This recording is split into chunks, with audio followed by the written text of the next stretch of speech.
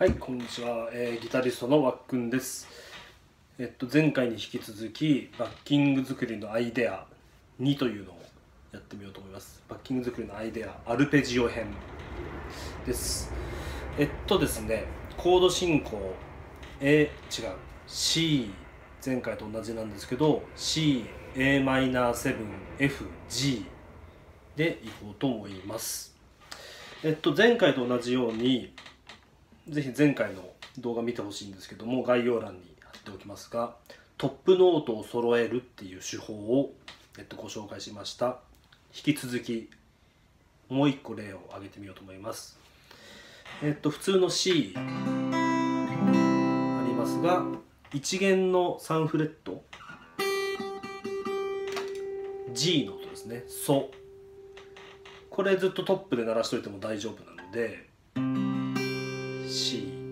a マイナー7もこれつけてます F こう押さえるとまあいけなくはないんですけどまあちょっと僕はこうシェイクハンドでやっちゃいますけど。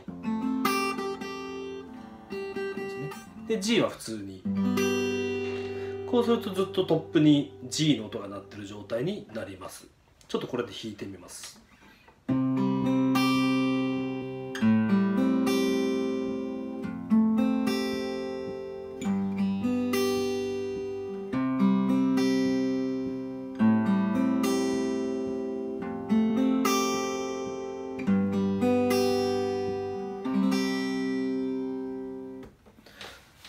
という響きになります。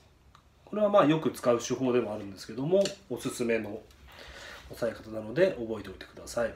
で1個注意事項としてはコードチェンジの時に小指を離さないようにしてずっとその音がずっとこう鳴ってる状態っていうのを作ってあげるとより綺麗に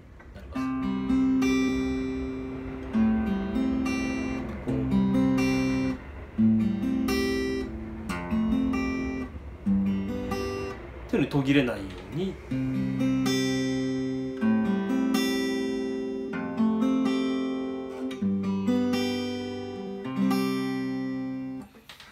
というふうにやってみてください。でもう一点とても大事なことをやります。えっとですね。今キーが C なんですけども今トでトップになってる音が G の音。キーが C トップの音が G キー C から見て G っていうのはですね数えると CDEFG5 番目の音で、まあ、5度っていう音なんですけど5度っていう音は、えっと、そのキーの中でコードが変わっても、えっと、トップとか、まあ、トップに限らないんですけどもなんていうんだろうな。こうキープしておいても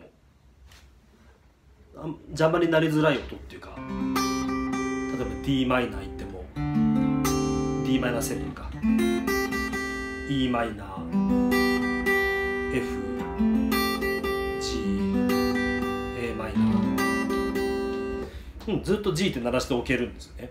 なので5番目の音っていうのはキープしやすいトップの音にしやすいっていうのを覚えておくと非常に使えます。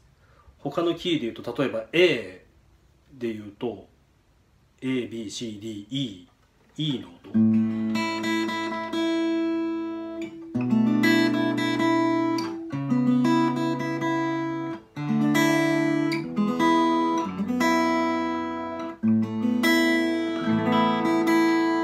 キー A で使えるコードを適当に弾いたんですけどもずっと5度の音の1弦の E の音が鳴ってると。